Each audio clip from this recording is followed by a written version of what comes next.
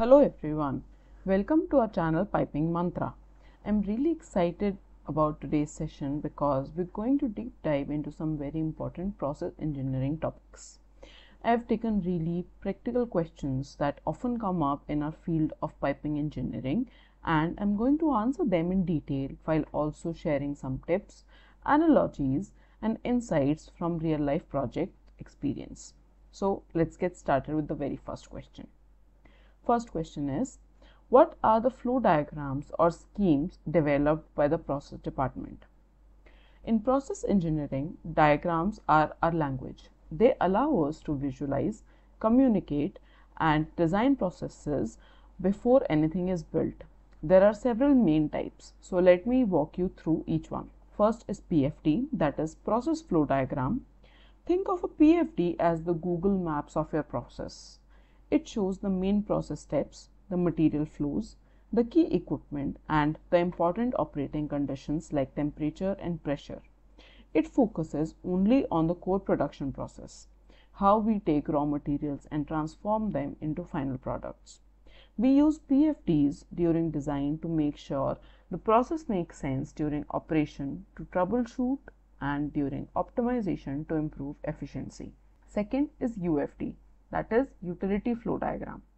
Now, if the PFD is about the main road, the UFD is about the side streets that keep the city alive. It shows the flow and distribution of utilities like steam, cooling water, compressed air, electricity, and fuel. These are the support systems that keep the main process running. Without them, the main road shuts down. The UFD helps in designing, maintaining, and managing these utility supply networks. Third is P&ID, that is Piping and Instrumentation Diagram. If the PFD is a map, the P&ID is like the blueprint of a car design, highly detailed and precise. It shows every piping detail, equipment, instrumentation, and control systems. Here you'll see valves, pumps, instruments like pressure gauges and flow meters, and control loops and exactly how they're connected. This is the diagram used by engineers, fabricators, and maintenance teams to actually build and operate the plant. Fourth is PSFD, that is Process Safety Flow Diagram, and USFD, that is Utility Safety Flow Diagram. These diagrams focus on the safety side of things. The PSFD looks at the main process from a safety perspective, that is, highlighting hazards like high pressure, flammable, or toxic materials, and showing safety controls like relief valves or interlocks. Similarly, the USFD does the same, but for utilities. For example, identifying where high pressure steam lines could be dangerous and how those risks are controlled. Fifth, is DPDT that is design pressure and design temperature diagram.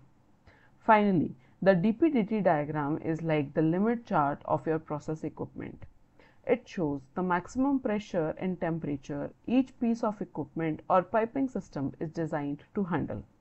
This is vital for selecting materials, calculating wall thickness and meeting codes like ASME BPVC. It sometimes even includes normal operating conditions for easy comparison. Alright, so now that we know the main diagrams we develop, the next question is about the lists and schedules that a process department prepares. Next question is, what are the various lists and schedules prepared by the process department? Lists might not sound exciting, but trust me, they are the backbone of process engineering coordination. First is line list. This is like a master register for every single pipeline in the plant.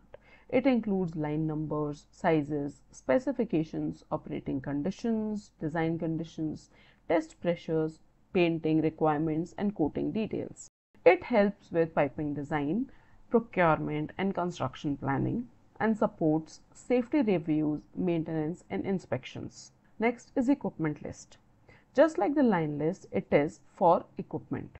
It records tag numbers, dimensions, process design conditions, and more. It is essential for procurement, simulation work, and maintenance planning. Third is tie-in list. This is the connection plan for linking new systems with existing ones. It contains tie-in numbers, sizes, design conditions, and shutdown requirements. It ensures all interconnections are clearly defined and executed safely during construction. A mistake here can mean connecting to the wrong line, and that can be a very expensive problem. Speaking of ensuring everything is accounted for, that brings us to a tool that process engineers cannot live without the heat and material balance. Next question is What is the heat and material balance? HMB. A heat and material balance is like the financial statement of a process. Instead of tracking money, we track mass and energy. Is a quantitative summary of the flows, compositions, energy content, temperatures, and pressures of all process streams entering and leaving equipment or a complete process unit. Mass balance equation is total mass in is equals to total mass out plus total mass accumulated in the system. In mass balancing, we look into flow rate of all components, composition of each stream, molecular weight, density, and phase. Heat balance calculations are needed to estimate the energy requirements and the cost of the process as well as the operation preconditions. In fact, no process will work unless the heat balance is met. In heat balancing, we look into temperature, pressure, enthalpy, specific heat, and energy input and output for equipment like cooler, reactor, etc. Heat balance is calculated based on first law of thermodynamics that is Q plus W is equal to delta E. It is typically presented in a table format, often used with tools like process simulation software like Aspen Plus. Next is why heat and material balance is needed. It ensures all mass and energy flows are accounted for. It helps equipment like reactors, heat exchangers, pumps, compressors, etc. It provides data to calculate heat exchanger surface area, compressor horsepower, pump head and flow requirements, identifies where energy is consumed or wasted, helps optimize steam usage, cooling loads, and waste heat recovery. And since we just mentioned heat exchangers in passing, let's dig deeper into that. Next question is What is a heat exchanger and what are the different types? A heat exchanger is simply a device that transfers heat between two fluids without mixing them.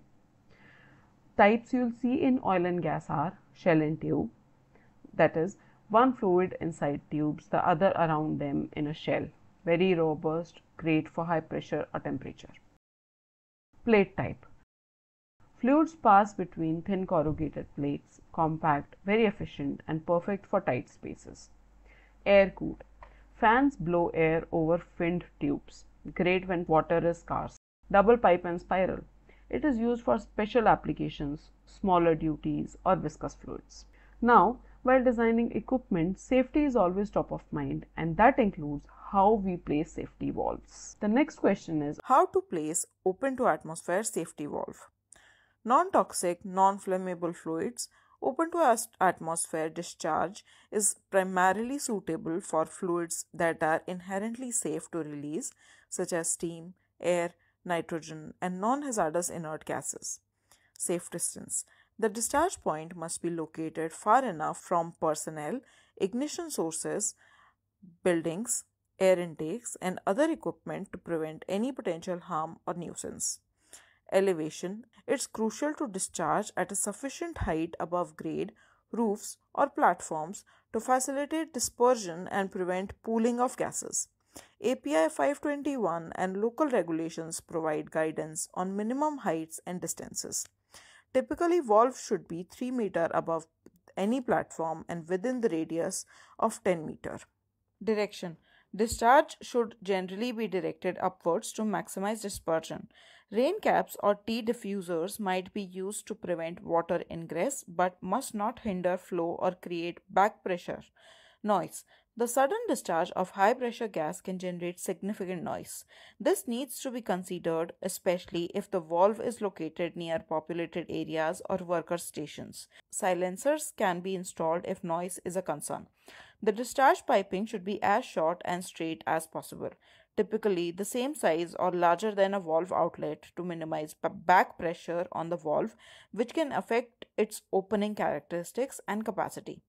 Drainage for steam or wet gas applications, The discharge piping must be designed with proper slopes and drains to prevent condensate accumulation, which could lead to water hammer or obstruct discharge. Alright, we just talked about safety valves, and since we are on the topic of plant documentation and system details, let's move on to one of the most important diagrams you'll ever see on a project. Next question is what information is available in a P&ID? I like to call the P&ID the storybook of the plant because it literally tells the full story of how a process is built, connected and controlled. When you look at a P&ID, here's what you'll find. Line numbers for every pipe in the system, equipment symbols showing reactors, vessels, exchangers, pumps and so on, flow arrows to show direction, the origin and termination points of lines, Process notes, these are like little sticky notes telling you special conditions or requirements. Tag numbers for every piece of equipment. Equipment capacity and process parameters like temperature and pressure. Piping components like valves, strainers, reducers, excluding simple direction changes. Instrumentation items and their control loops or interlocks. And finally, the title block, which contains revision details, dates, and approval information let's move into a problem every pump engineer fears cavitation. Next question is what is exactly cavitation? Cavitation happens when a liquid in a pump vaporizes because the local pressure drops below its vapor pressure. It's like when you try to suck a thick milkshake through a straw, but the straw isn't fully in the shake, you get pockets of air. In pumps, these pockets are vapor bubbles. They form grow, and then collapse violently. This causes loud noises, that is, sounds like marbles rattling inside, damage, pitting and erosion on impellers and casing, and loss of efficiency, that is, the pump works harder but moves less liquid. And that brings us straight to the next important topic because preventing cavitation is all about managing something called NPSH. So, our next question is what is NPSH? NPSH stands for net positive suction head, basically how much push the liquid has to enter the pump without forming bubbles. There are two types NPSH available, that is NPSH-A, what the system can provide, and NPSH required, NPSH-R, is what the pump needs to operate smoothly. If NPSH-A is greater than NPSH-R, your pump is happy if NPSH-A is less than NPSH-R, you get cavitation. So, to improve NPSH-A, you can raise the liquid level in the supply tank, use bigger suction pipes or reduce pipe friction and avoid sharp bends. Or you can select a pump with a lower NPSH-R. Now, pumps are important, but so are the vessels. And in process plants, we have to make sure vessels have the right nozzles for operation and safety. So, our next question is what are the necessary nozzles for pressurized vessels? Pressurized vessels like separators, reactors and columns need strong and well designed nozzles to handle high pressures and hazardous fluids. Process nozzles are inlet nozzle where the fluid enters, gas outlet nozzle for separated gas, liquid outlet nozzle for liquid discharge, drain nozzle for emptying the vessel, and vent nozzle for safe pressure release during maintenance. Utility and safety nozzles are pressure safety valves, PSV nozzle protects against overpressure, pressure gauge nozzle for monitoring, level transmitter nozzle to measure liquid levels, temperature probe nozzle for temperature monitoring, utility connections, steam, nitrogen purge or chemical injection, inspection and maintenance nozzles like manway nozzle, large enough for personnel entry, instrumentation nozzle for probes like pH or corrosion monitoring. Now, not all vessels are pressurized. So, let's also look at the nozzles for atmospheric or non-pressurized vessels. So, the next question is what are the necessary nozzles for non-pressurized vessels? These include tanks, sumps or open drums. Process nozzles are inlet nozzle for filling, outlet nozzles for liquid extraction, overflow nozzle to prevent overfilling, and drain nozzle for complete emptying. Venting and safety nozzles are atmospheric vent nozzles, it lets the tank breathe. Flame arrestor nozzle for fire protection and hydrocarbon service. Instrumentation and maintenance nozzle, dip hatches or sight glasses for manual checks, sampling nozzle for quality testing and clean out or manway for sludge removal and inspection. And that wraps up our deep dive into these key process engineering topics. We have covered everything from flow diagrams to equipment lists, from heat balances to cavitation prevention, and from P&ID details to vessel nozzle requirements. I hope this detailed question answer format gave you both the theory and the practical angle so you can apply this knowledge on the job or in your studies. If you found this helpful, please give the video a thumbs up, subscribe to the channel for more engineering content and share it with your friends or colleagues in the industry. Thanks for watching. I'll see you in the next one.